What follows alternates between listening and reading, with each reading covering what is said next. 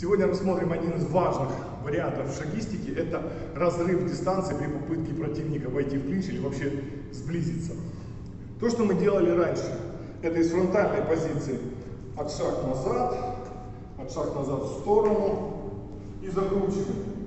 Сейчас мы рассмотрим это из фронтальной позиции спарринговой, которая чаще всего происходит. То есть противник с нами сближается, мы его останавливаем, разрываем дистанцию. Важный момент.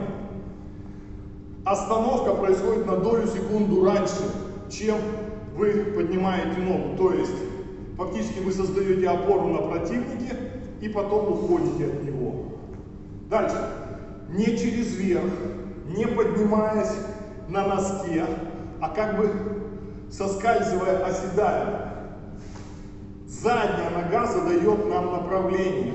Таким образом мы получаем 5 вариантов. Назад. В данном случае назад справа.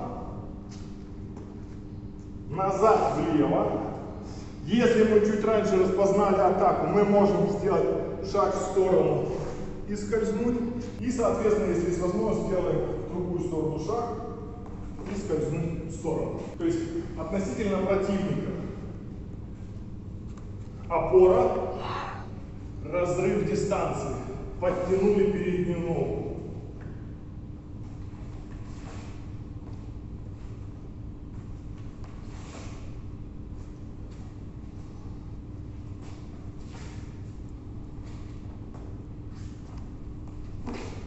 Важный момент при уходе, в данном случае влево, я шагаю не носком, а пяткой.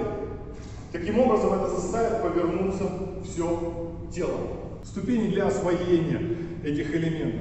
Начнем с условно-рукопашного варианта, потому что с пустыми руками будет ровно то же самое, разве что там добавится укол второй рукой.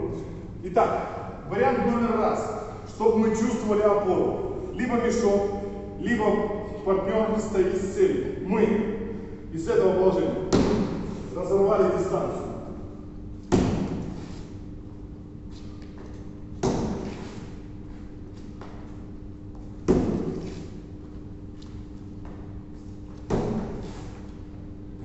Вторая ступень.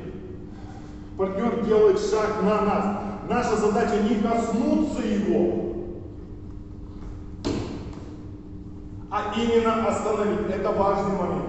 Итак, и разрываем дистанцию.